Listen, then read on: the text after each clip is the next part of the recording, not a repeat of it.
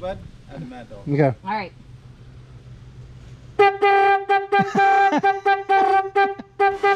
Ha ha!